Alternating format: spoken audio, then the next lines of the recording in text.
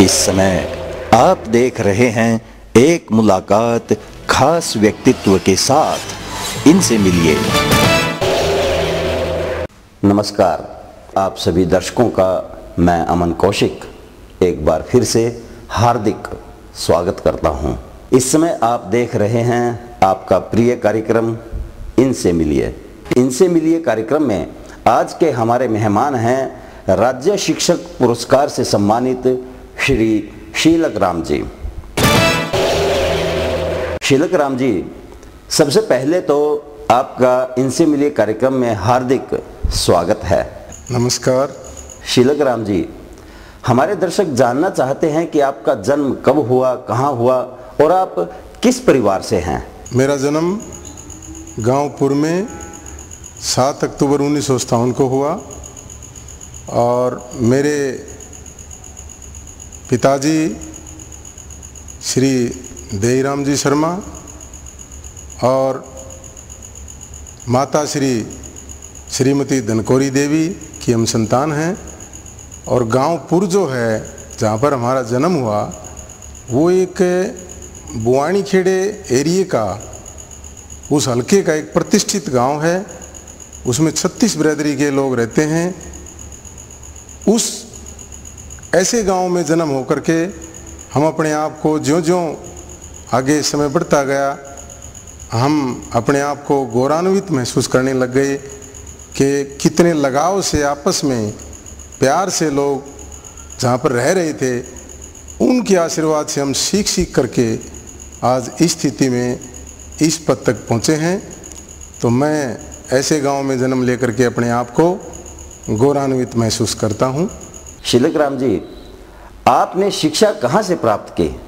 हमारे गाँव के अंदर हाई स्कूल जो है, पहले डिस्ट्रिक्ट बोर्ड सिस्टम होता था। तो एक ऐसा, यानी एरिए का एक प्रतिष्ठित स्कूल रहा है हमारा हाई स्कूल। उस हाई स्कूल के अंदर, वहाँ पर लगभग चार पाँच गाँव के बच्चे पढ़ने के लिए आते थे।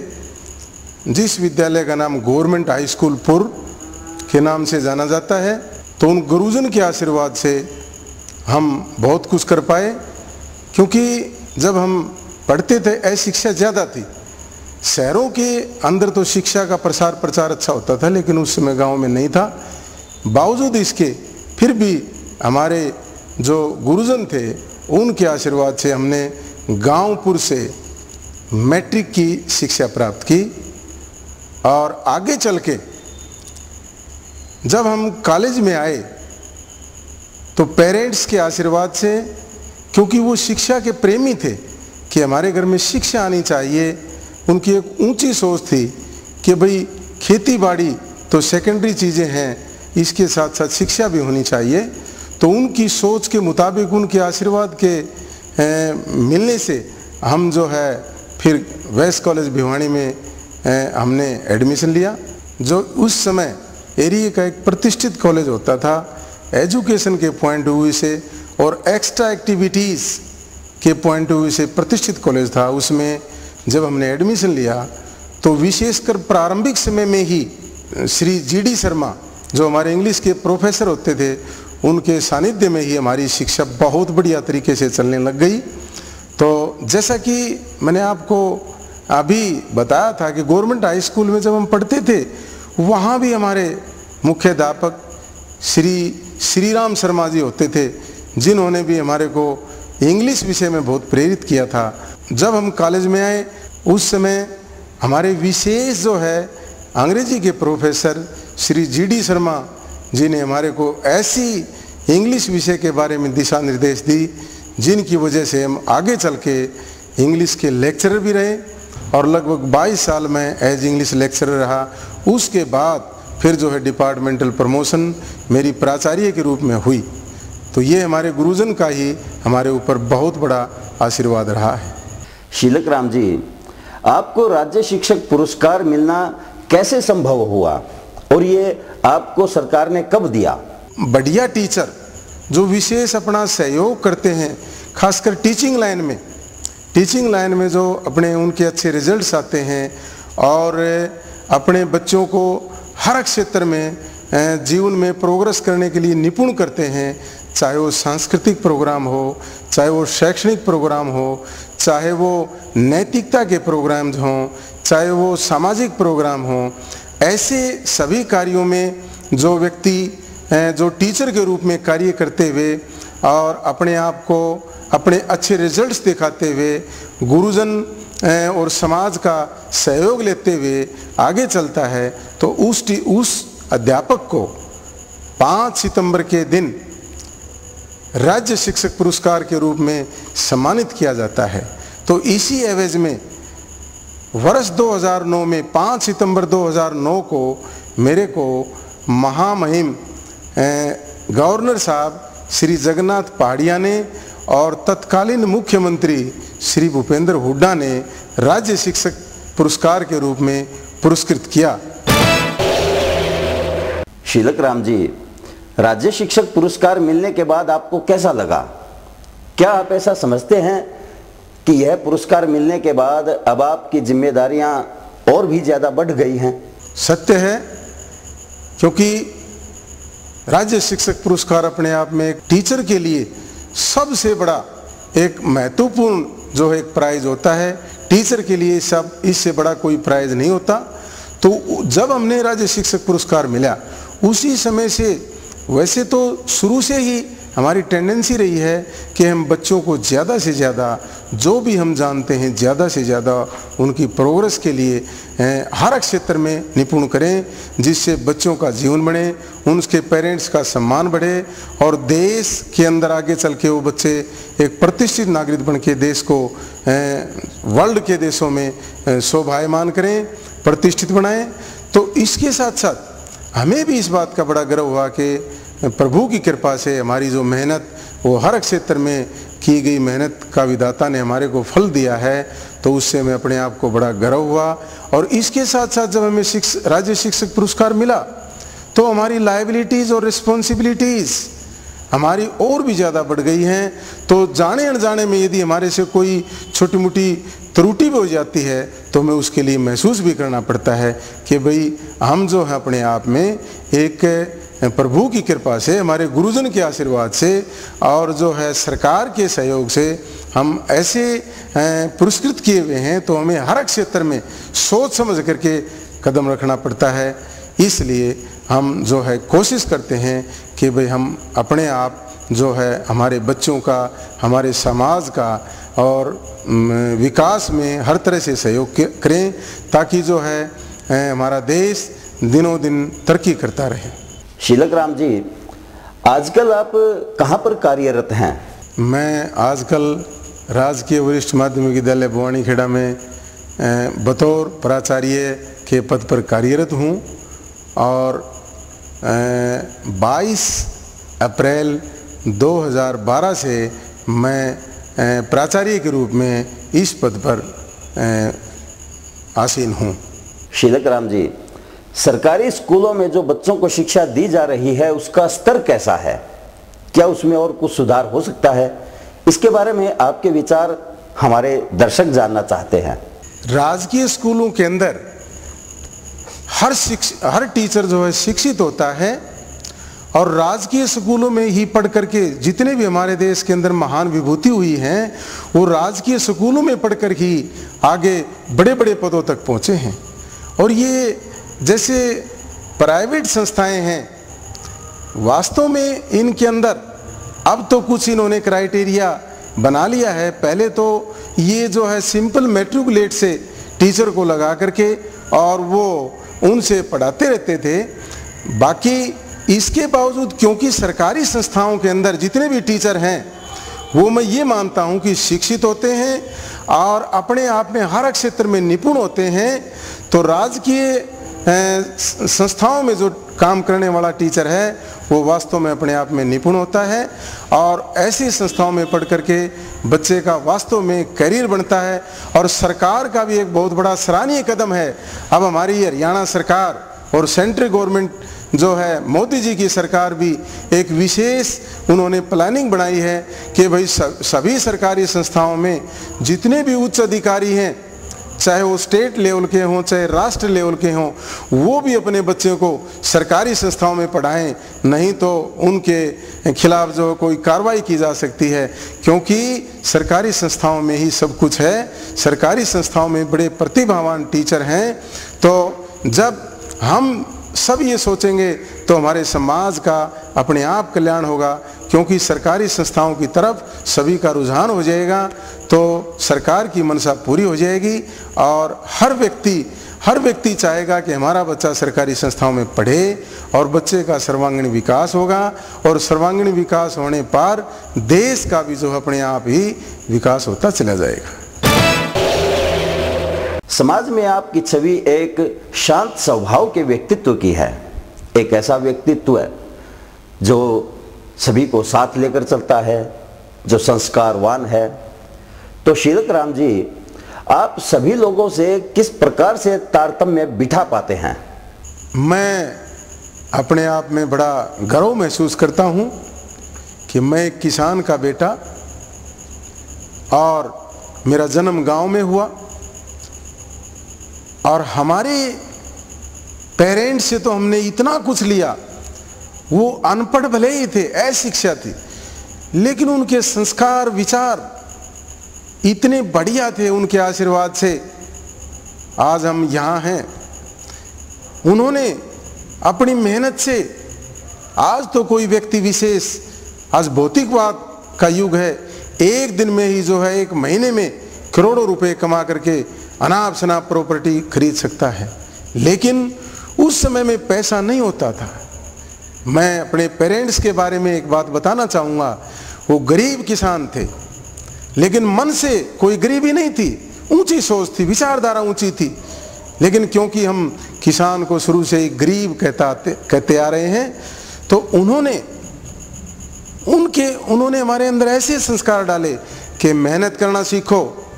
क्योंकि उन्होंने मेहनत करके मेरे पेरेंट्स ने चालीस एकड़ ज़मीन मोल ली यानी शरफ और शरफ मेहनत करके, पशुओं को पाल करके, हम उनकी संतान हैं। हम उनकी संतान होकर के अपने आप को बड़ा गर्व महसूस करते हैं कि उनके आशीर्वाद से उन्होंने एक ही बताया कि बेटे, ठग्गा बग्गी मत करना, मेहनत करना जीवन में, हेरा फेरी नहीं, और ईमानदारी से रहना, व्यवहार से रहना तो प्रभु आपकी मदद करेगा।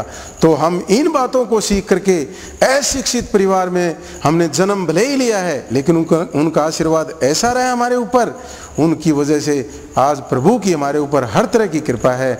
और हमारे पेरेंट्स में एक विशेष बात थी, क्योंकि गाँव के अंदर छत्तीस बरादरी के लोग रहते थे वो आपस में भाईचारा बनाए रखते थे, सबसे सहयोग से रहते थे।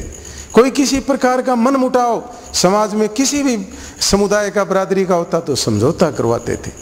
और आज हम भी जहाँ कभी हमारी ड्यूटी लगती है भाईचारे में किसी भी प्रकार की तो हम उन्हीं के आशीर्वाद से सीखे हुए हैं।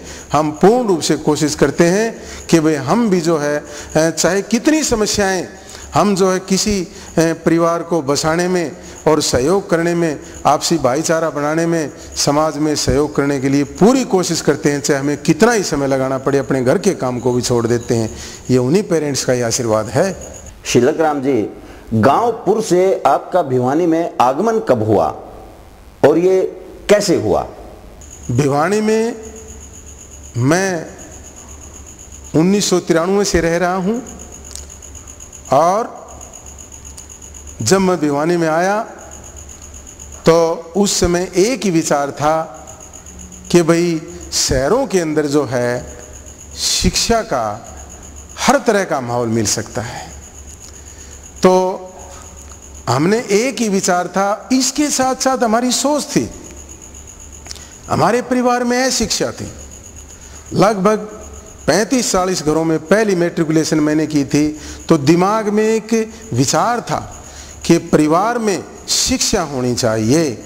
शिक्षा शिक्षा के लिए हमने अपने बच्चों को, अपने भाइयों के बच्चों को, अपने मित्रों के बच्चों को मैंने सोचा कि भिवाणी यदि शहर में रहेंगे तो वहाँ हर तरह की सुविधाएँ बच्चों को पढ़ाने के लिए हमें मिल पाएँगी, और हम जो है कि एक बच्चे को वहीकल पर बिठा बिठा करके नहीं ले जा पाएँगे तो हमने खुद ही रहना शुरू कर दिया, ताकि जो अपने मिलने वालों को रिलेटिव्स को और मित्रों को भी बताएँ कि भाई, ये सुविधाएँ हैं, और हमारे से भी आपके बच्चों को जो हम दे पाएँगे, वो सुविधा जुटा पाएँगे।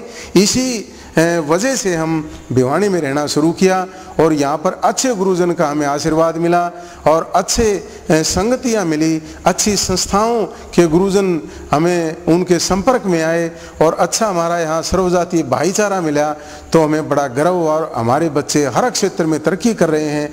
मैं ये बता, ये भी साथ साथ बता देना चाहता हूँ कि जिस परिवार में मेट्रिकुलेट कोई व्यक्ति नहीं था पैंतीस घरों के अंदर और से चालीस घरों में कोई मेट्रिकुलेट पर्सन नहीं था तो मैं घमंड नहीं कर रहा।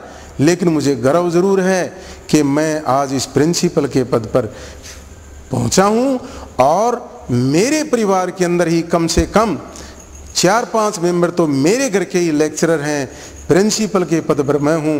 एक्साइज एंड टैक्सेशन विभाग के अंदर मेरा मेरा जो घर का मेंबर, जो इंस्पेक्टर है, हमारे घर वाले जो है ना, आर्मी में भी हैं तो ये क्या है? ये प्रभु की कृपा और हमने उनको जो है मेहनत करने की सोच बनाई तो ये प्रभु की कृपा है। तो ये यहाँ शहर में आकर के ऐसा हुआ, ऐसा मैं मानता हूँ, क्योंकि हमने ये माहौल मिला और माहौल मिलने से जो है आज हम दिन दोगुनी, रात चौगुनी तरक्की कर रहे हैं। आप बचपन से ही शिक्षक बनना चाहते थे या ऐसा संयोगवश हो गया? इसके बारे में बताइए। वास्तव में मैं शिक्षक ही बनना चाहता था। कारण कि जब हमने मेट्रिकुलेट किया तो मैं उस बात को याद करता हूँ तो रोंगटे खड़े हो जाते हैं। क्योंकि उस समय सिंपली हमारे गाँव में तीन चार जेबीटी टीचर ही थे। और हमारे ख्वाब थे कि भाई हमने ऊँचे से ऊँची शिक्षा ग्रहण करनी है। तो ये ख्वाब हमने मन में बनाया। क्योंकि एक भावना थी कि मैं शिक्षित हूँगा, मैं शिक्षक, शिक्षित होकर के शिक्षक बनूँगा तो मैं सभी जो मिलने वाले हैं, घर के बंदे हैं, या और मित्रगण हैं, या और रिश्तेदार हैं, या समाज के अन्य व्यक्ति हैं, उनके बच्चों को पढ़ाने की कोशिश करूँगा। इसलिए मेरी पूर्ण रूप से भावना थी कि मैं शिक्षक बनूं, ताकि मैं जो है ना, बच्चों को आने वाली पीढ़ियों को दिशा निर्देश दे सकूँ। सरकार ने बेटी बचाओ, बेटी पढ़ाओ अभियान पर पूरा ज़ोर लगा रखा है।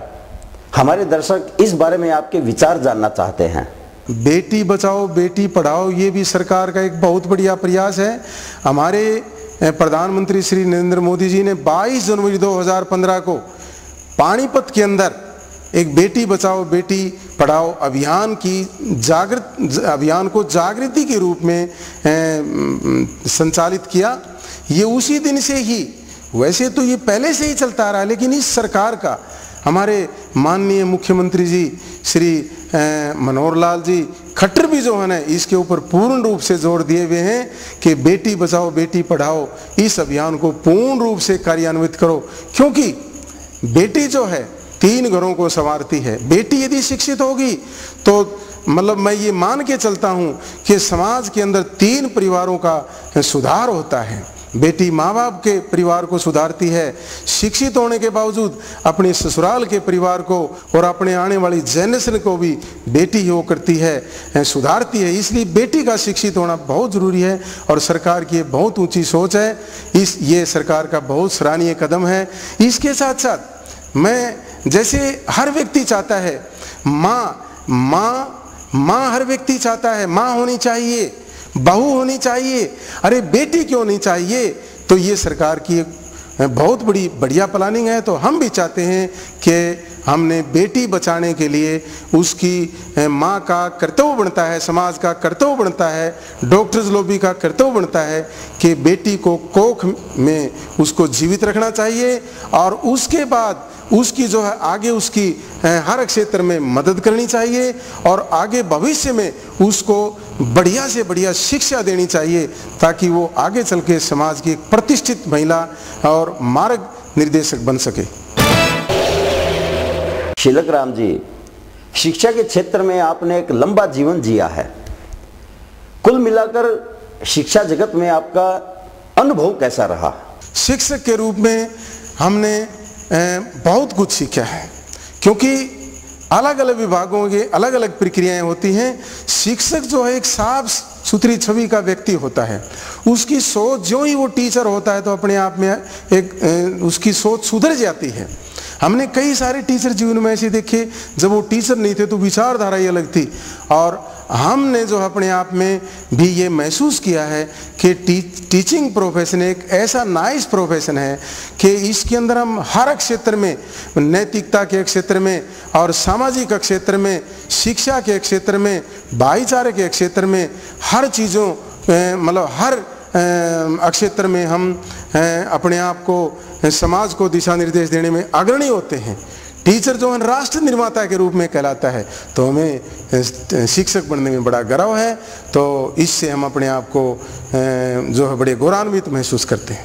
शीलक राम जी प्रधानमंत्री जी मन की बात करते हैं और इनसे मिलिए कार्यक्रम में हम करते हैं दिल की बात। हमारे दर्शक आपके दिल की बात जानना चाहते हैं।